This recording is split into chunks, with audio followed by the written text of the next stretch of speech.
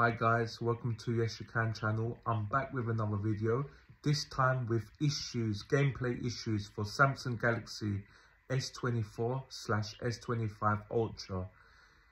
If you're gaming and you're noticing every time on a regular basis that your Samsung Galaxy phone is either crashing, lags or freezing during gameplay, so it could be Call of Duty, Fortnite, any game, then this is what you need to do to fix this problem and make it stable.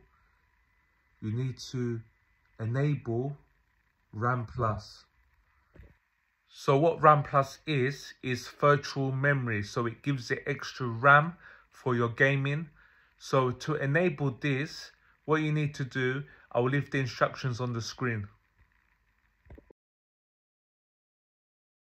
Settings, device care, memory, RAM plus, toggle to turn on and select 8GB of virtual memory to use and tap on restart for changes to be applied.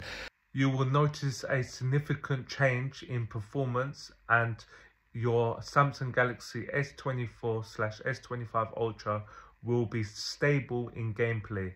I hope this video has helped you. Please like and subscribe to the channel and comment below and tell me how you get on. Thank you for watching. I will catch you on the next video.